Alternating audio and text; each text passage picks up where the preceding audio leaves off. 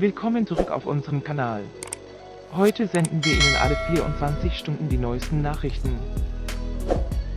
Wirklich überrascht waren die Leute erst kürzlich, als Beatrix Egli auf Instagram von ihrer tiefen Liebe zu Florian Silbereisen erzählte, aber erst vor kurzem die Gelegenheit hatte, dies öffentlich zu machen. Klicke auf den Like-Button und abonniere den Kanal, um keine Neuigkeiten zu verpassen. Bitte werfen Sie einen Blick auf den heutigen Inhalt. Kurzbiografie von Florian Silbereisen, Stern 4. August 1981 in Tiefenbach, ist ein deutscher Performer, Schlagersänger, Schauspieler und Juror. Sein Durchbruch gelang ihm 1999, als er mit Carmen Nebel im Fernsehen auftrat. Seit 2004 moderiert er die ORF-ARD-Programme Eurovision Feste der Volksmusik.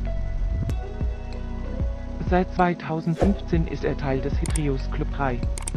Seit Ende 2019 spielt der Kapitän Max Parker in der ZDF-Fernsehserie Das Traumschiff und der Ausgründungsserie Kreuzfahrt im Glück. Beatrice Egli, Stern 21. Juni 1988, ist eine Schweizer Pop- und Schlagersängerin. Sie ist Gewinnerin der 10. Staffel des deutschen Musikwettbewerbs auf der Suche nach Superstar.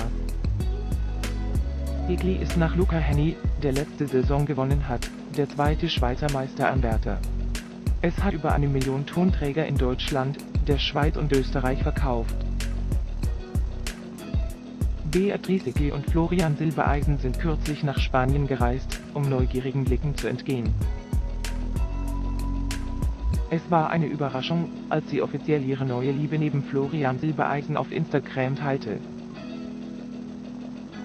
Beatrice Egli hat keine Angst mehr vor der öffentlichen Meinung, wenn sie über ihre Liebesgeschichte mit Florian Silbereisen spricht. Beatrice Egli interviewen, als wir zu schnell nach ihrer Liebe und Florian Silbereisen Werbespots gefragt haben. Beatrice Egli antwortete, nach der Reise mit Florian Silbereisen hatten sie und Florian Silbereisen viele Pläne und deuteten auch auf ihre Beziehung zu Florian Silbereisen an. Sie wollte sich damit anstellen und es spielte keine Rolle. Florian Silbereisen und Beatrice Egli müssen beide sehr glücklich sein. Beatrice Egli fühlte sich von Florian Silbereisen in Handschellen gefesselt. Wäre das wahr, würden sich Florian Silbereisen und Beatrice Egli sehr freuen. Zukünftig werden wir noch mehr fröhliche Bilder von Beatrice Egli und Florian Silbereisen auf der Bühne sehen, die noch keine Angst vor der Menge haben. Hinterlassen Sie unten einen Bewertungskommentar, damit wir die neuesten Nachrichten mit Ihnen teilen können.